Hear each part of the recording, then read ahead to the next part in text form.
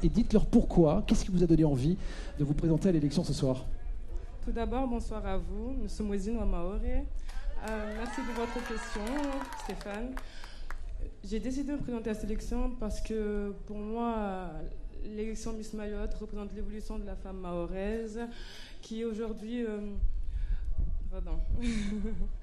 qui aujourd'hui euh, peut s'exprimer librement et être indépendante, tout ceci à, travers la richesse de notre tradition.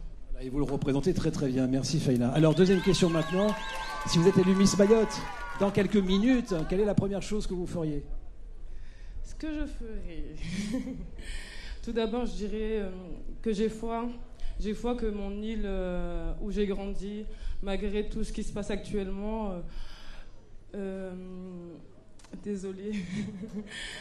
malgré tout ce qui se passe actuellement euh, par rapport aux violences, je, je me. Je me. Pardon. je m'investirai dans la cause de la sécurité sur l'île. Et. Euh, pardon. C'est déjà une belle chose. Merci beaucoup, Faina, la candidate numéro 4. Merci.